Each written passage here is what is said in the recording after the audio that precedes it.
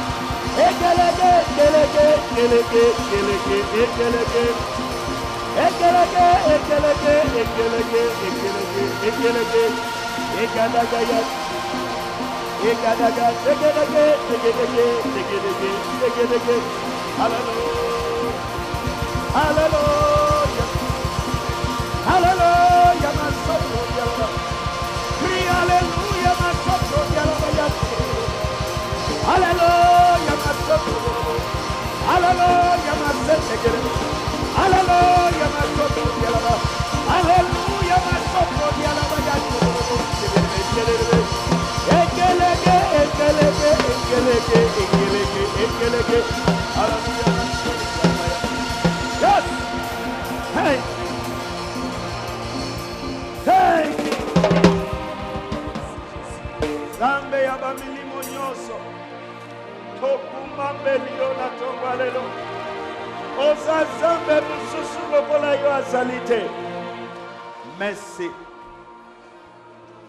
merci merci mpo na nyonso merci mpo na presence na yo Merci pona nyonso ozosala. Lokumu nyonso ezonga epai na yo. Amen. Na kombo na Yesu Masiya. Amen. Lokumu nyonso ezonga epai na yo. Merci et merci et nous disons merci. Merci Seigneur. Au nom de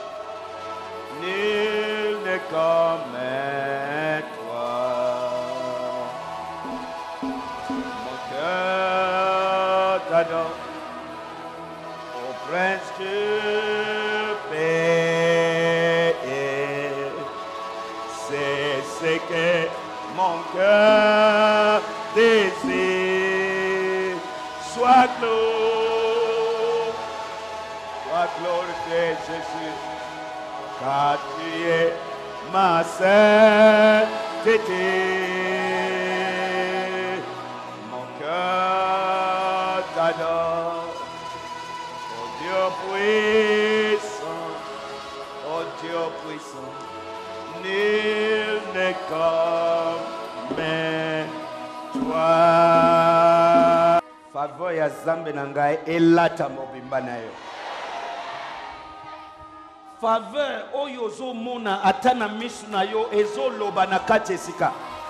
Ezo loba kaka na libanda wana. Faveur wana elata yo na tongo ya lelo. Nalobi faveur wana elata yo na tongo ya lelo.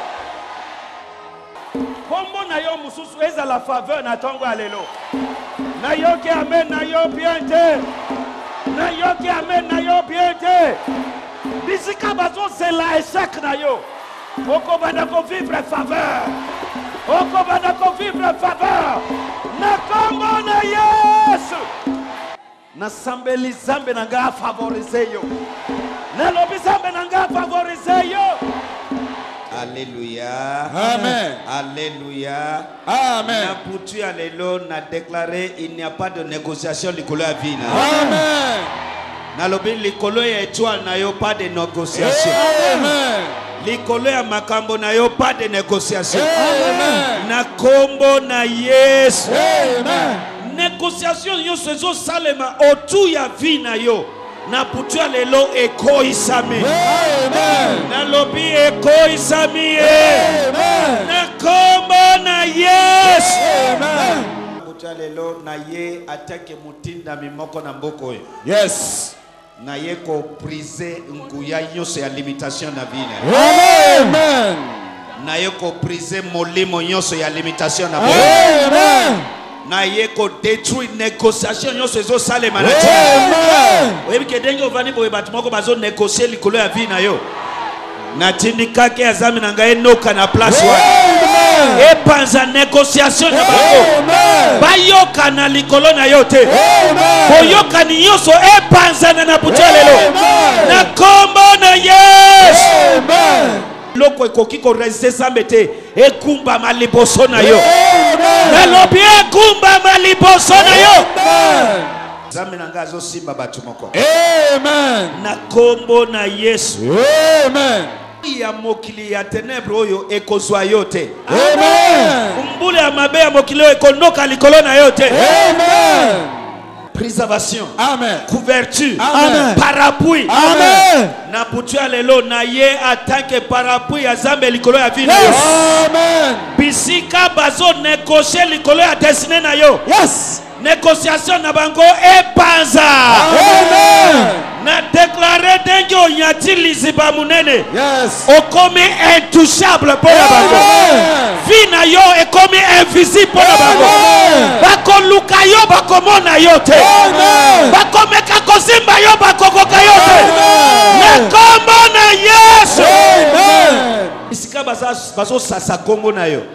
natindikaki ya zambe na ngai epanza bango epanza projet na bango epanza intention na bango na nkombo na yesu bitumba nyonso ozomona na vie na yo bitumba nyonso nazomona na vie na ngai bitumba nyonso ozomona na vie na yo eza parceke kembo moko eza na place wana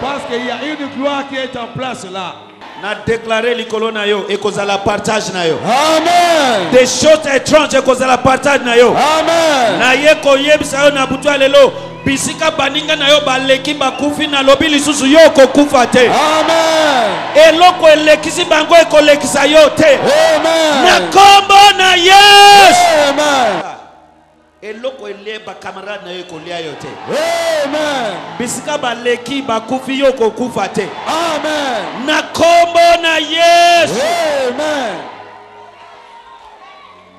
Amen. Na mbula oyo etikali Nzambe na ngai azobatela yo. Amen. Okokufa te. Amen. Okokufa boye te. Amen. Na kombo na Yesu. Amen. Na kombo na Yesu. Amen. Yoka na ye koyebisa yo okokufa boye te okokufa boye te okokoma na destination finale na nkombo na yesu naye koyebisa yo mpo na baoyo bandimi na prophétise victoire sur victoire nalobi victoire sur victoire na nkombo na yesu yoka ngai malamu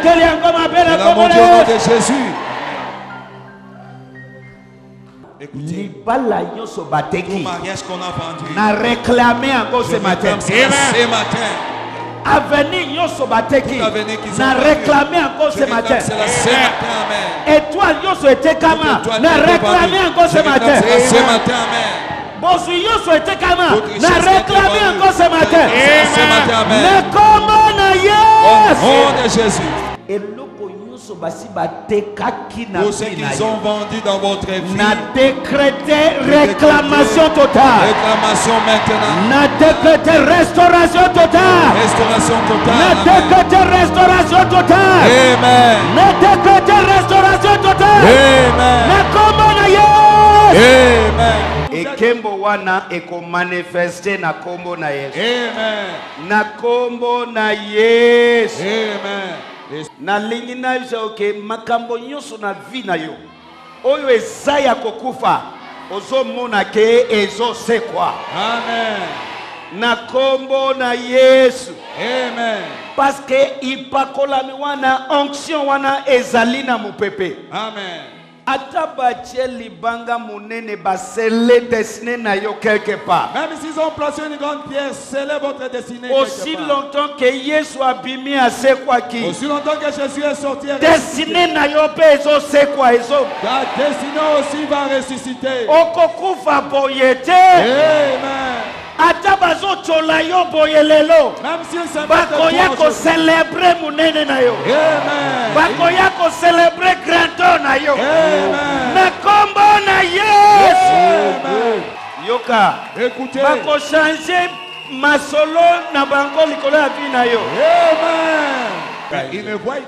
naye koyebisa yo boye bankuna ya vi na yo bakochange masolo na bango na nkombo na ye oza ya zambe oza ya zambe oza ya zambe ntango bazozela Kembo na yo esila. Zambe akofula yango lisusu.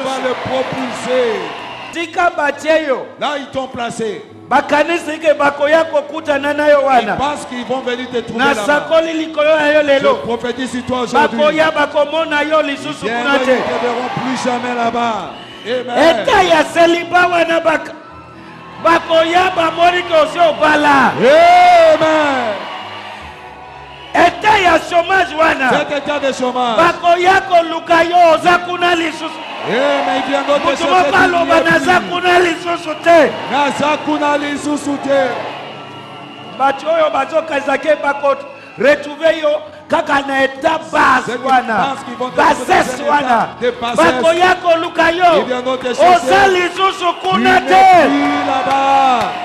kabongo bakoya koluka yo bakomona yo lisusu kuna te nalobi bakomona yo lisusu kuna te position wana cette position là oyo bamesani na yo ils ont l'habitude de te voir ntumba oh, bakoya komona ntumba akomi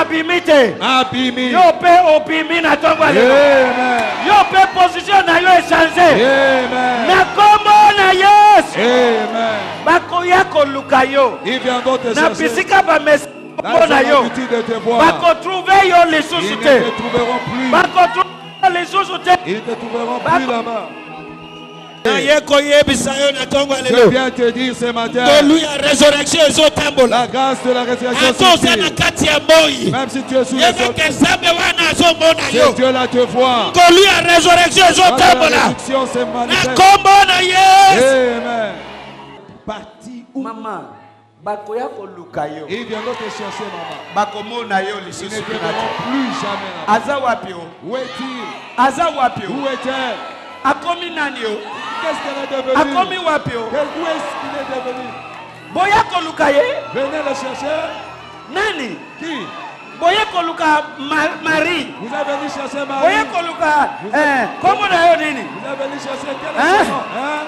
boye koluka kabengele boye koluka kadiadia boye koluka kabongo boye koluka Muswadi. Muswadi. Eh, eh. eh. Aza wapi? Weti. Bakokutana nayo kuna te. Bakokutana nayo kuna lisusu te. Na kombo na Yesu. Amen. mokili bazalaka ndenge wana balingi bakuta yo na bisika batie yo wana balingi baretrouve yo kaka na position wana me ntango bamoni ke position na yo echange bakomi na likunya bakomi na zuwa naye koyebisa yo par la puissance de résurrection bakotrouve yo na position wana te na kombo na yesu ata bafingaka yo tala villageoise oyo kaka yo villageoise wana okoba na kokende ozozonga ozomona poto mokili ozozonga na nkombo na yesu kanser wana nalakeli yango mabe na virus wana ya sida bakomona yango lisusu te na nzoto na yo soki ondimi eloko nazoloba wana beta ame ya nzoto elakelami mabe elakelami mabe na nkombo na yesu nyonso bato babwakeli yo ndenge ozoyoka mokongo na ngai natie nguya ya resurrection na je elongwa na nzoto na yo ezongela bango ezongela bango na nkombo na yesu Amen. tâche de l'expéditeur. yango nde nazozambela lelo maladi nyonso babwakeli yo elongwa na nzoto na yo ezongela moto atindi retour à l'expéditeur retour à l'expéditeur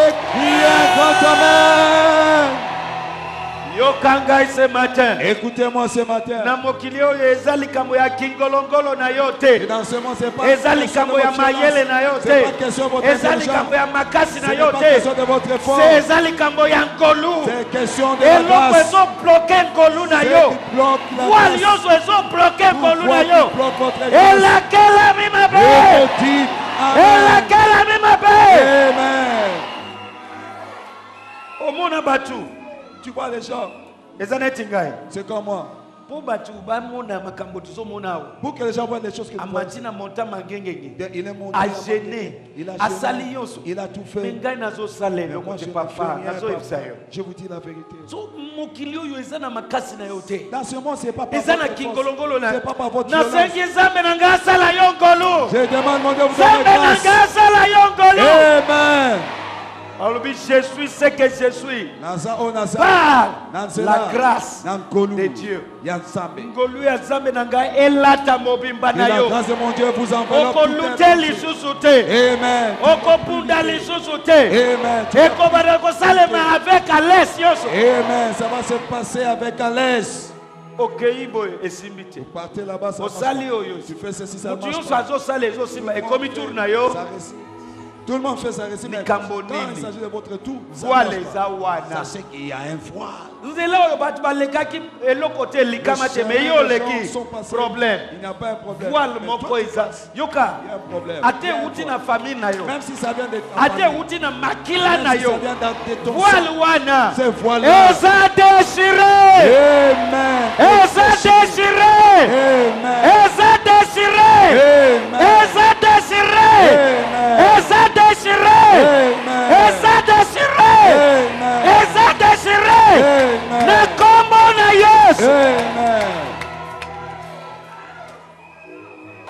Kombo na yo mosusu ezala faveur na tongo ya lelo.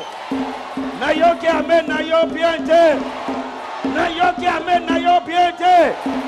Bisika bazozela echec na yo. Okobanda ko vivre faveur.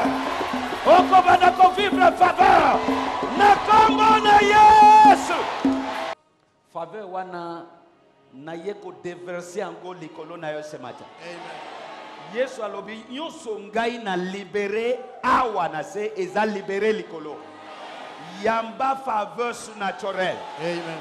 Yamba faveur surnaturelle. Amen. Na kombo na Yesu. Ata Ennemi na yo alingi alinga te ako considérer yo. Amen. Na tongo lelo yamba ngolu ya considération. Amen. Yamba ngolu ya considération. Sika baninga baza considérer te. Yo okozala considérer. Okozala considérer. Okozala considérer. Mbeli pona yo bisika bazolute. okolute lisusu te Amen. mapamboli ya nzambe erepoze likolo na yo na Amen. nkombo na yesu Amen. c'est la bénédiction de dieu soki motema na ye eza endurci komi makasi eloko te Kaka Zambe nde akoki kolembisa motema ya moto liboso na yo.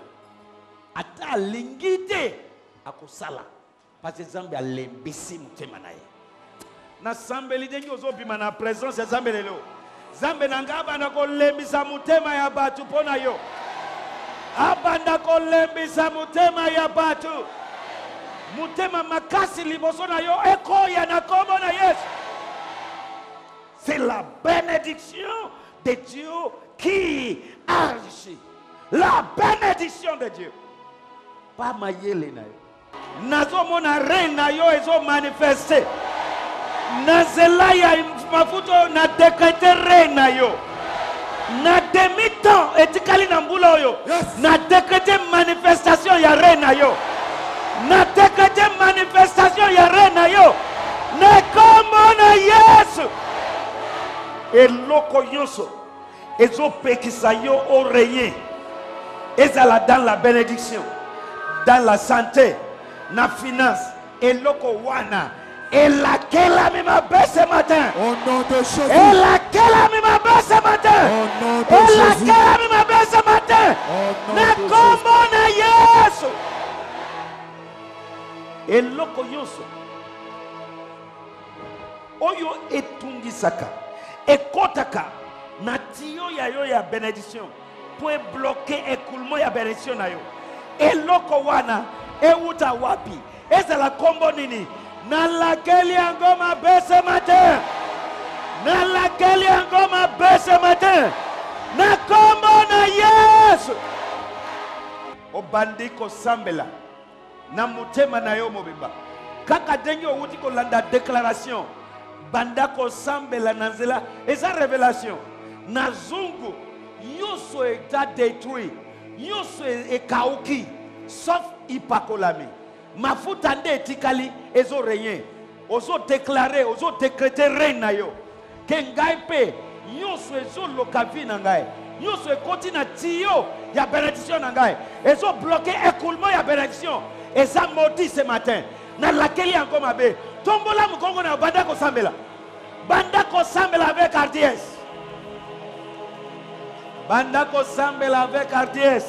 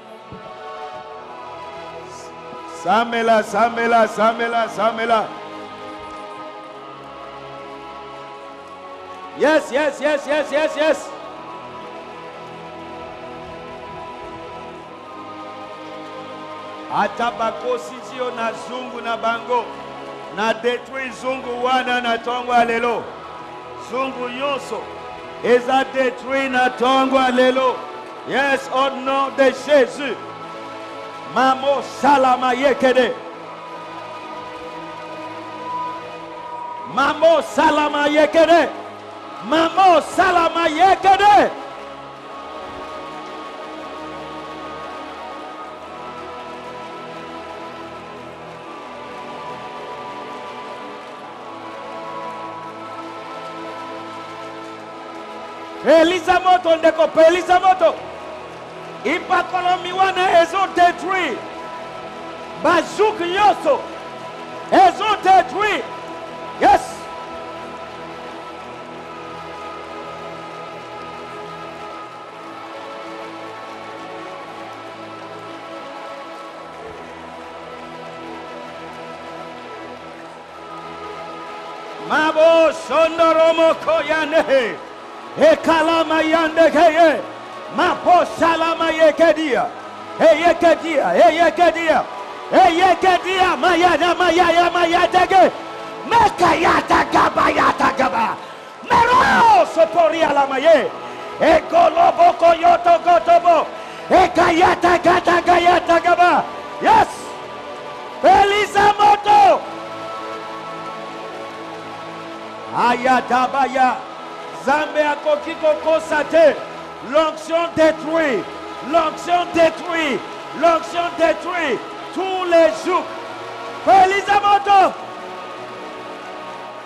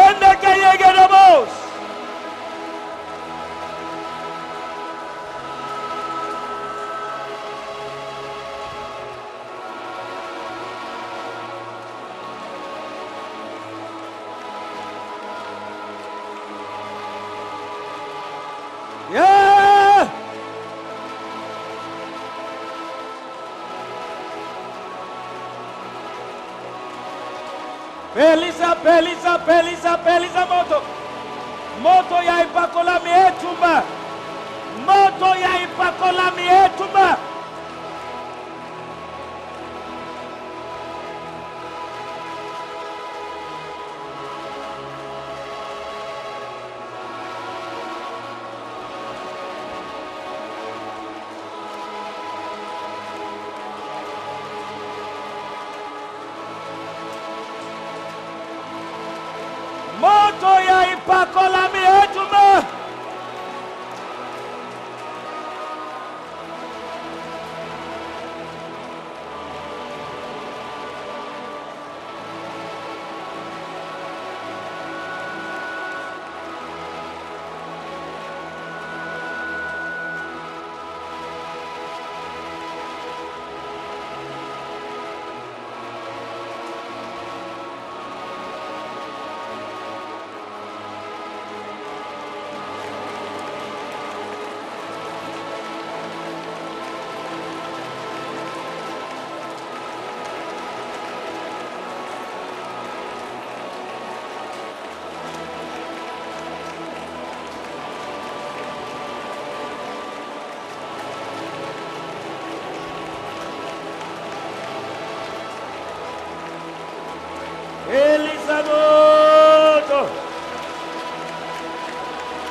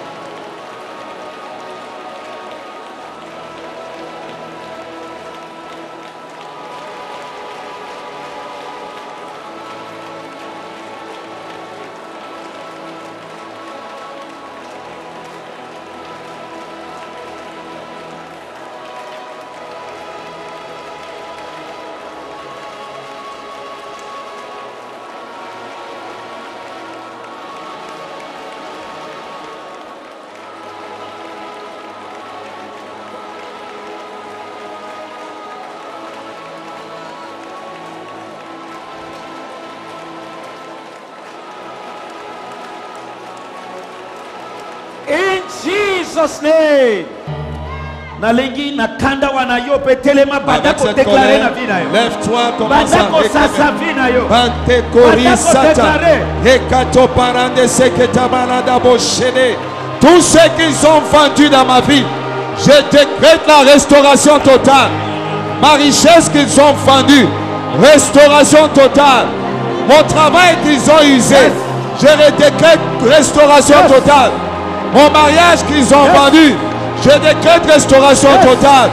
Ma santé qu'ils ont vendue, ah, ah. je décrète restauration totale.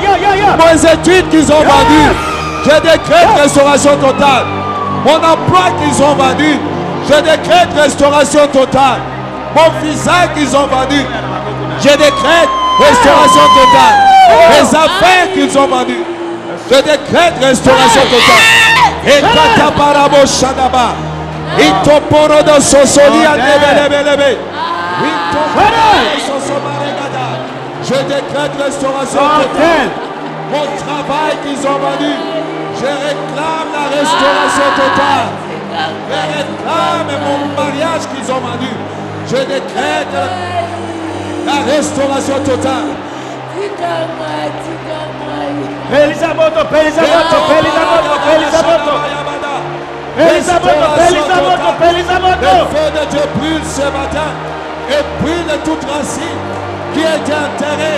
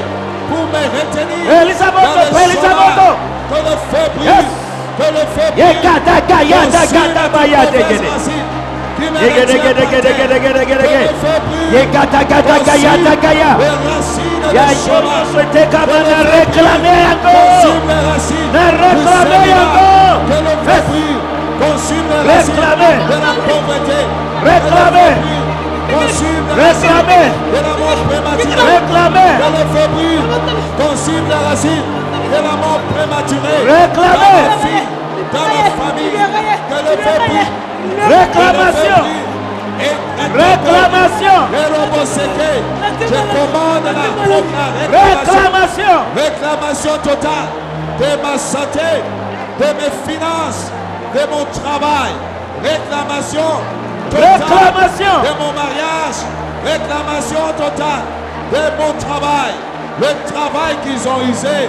Je commande la réclamation, je commande la réclamation, je réclame mon travail, je réclame ma santé, je réclame mon mariage, je réclame mes études, je réclame mes diplômes, je réclame mon travail. Je réclame, Je réclame tout ce qui m'appartient. Je le réclame aujourd'hui. Tout ce qui a été vendu par mes ancêtres, par mes parents. Je refuse de payer le prix de leurs iniquités. Car je suis en Christ. Je réclame ce matin ce qui m'appartient.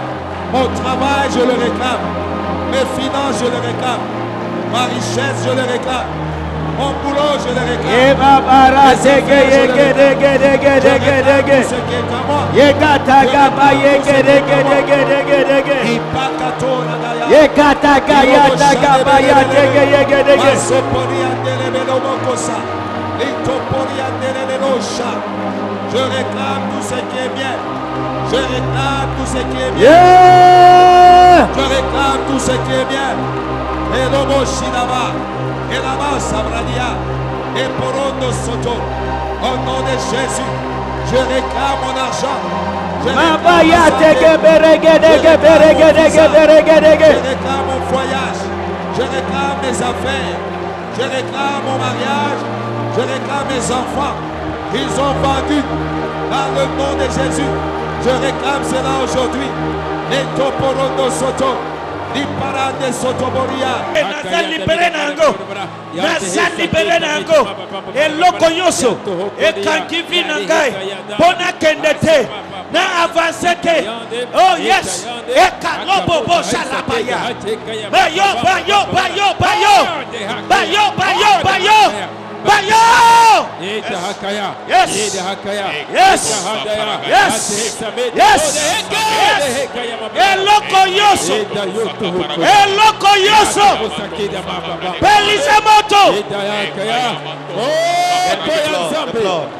Na se ya moi elisa moto tango bino milimo mabe yoka liloba ya Nzambe kotika bomoi na nga elisa moto eloko nyonso etumba bino nyonso etumba bino nyonso nyonso